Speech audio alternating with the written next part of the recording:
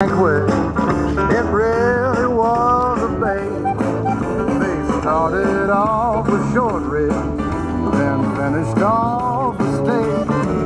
But when the feast was over, Brother Henry just kept his seat.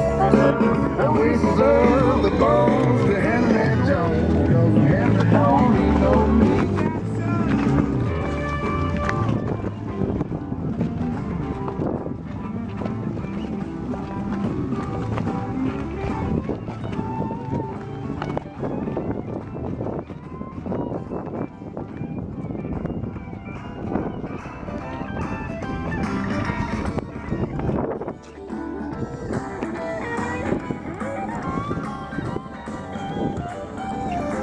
dinner was most proper.